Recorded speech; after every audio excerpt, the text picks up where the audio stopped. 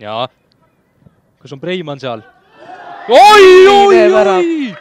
ja Preimann. uskumatu värav. Preimann viigistab viiekümne kuuendal minutil seisu kaks kahele ja milline värav. Preimanni selle hooaja kümnes mäng, vabandust, kümnes värav. see tuli täitsa mitte kuskilt.